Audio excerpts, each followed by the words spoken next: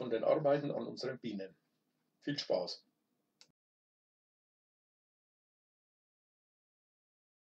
Im Jahr 2018 haben wir uns die Bienen angeschafft. Hier sieht man eine schon zum Teil gefüllte Honigwabe.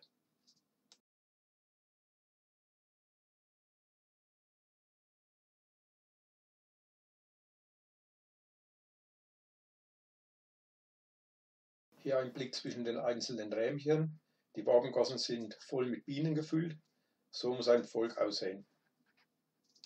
Hier wird gerade das Winterfutter vorbereitet. Die Blätter, die man hier sieht, sind im Prinzip nur Einstiegshilfen für die Bienen. Ist aber nicht so optimal. Wir sind da wieder abgekommen und haben dann die Futterballons verwendet. Das sehen wir später noch.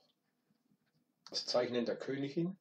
Man muss hier sehr vorsichtig vorgehen damit man die Königin nicht beschädigt oder quetscht, sonst äh, kann es passieren, dass sie dann keine Eier mehr legen. Die Zeichnung der Königin ist wichtig. Man kann durch den Farbcode das Alter der Königin erkennen.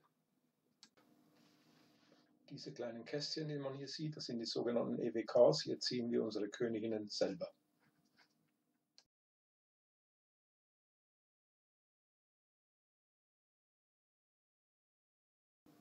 Frühsommer beginnen die Bienen zu schwärmen, das heißt, die alte Königin zieht mit, einer, mit der Hälfte des Volkes aus und sucht sie eine neue Unterkunft.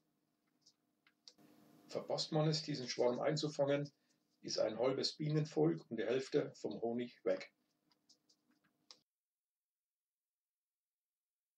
Hier wird die Einfütterung für den Winter vorbereitet. In diesen Futterballons befindet sich der Futtersirup, den die Bienen bekommen.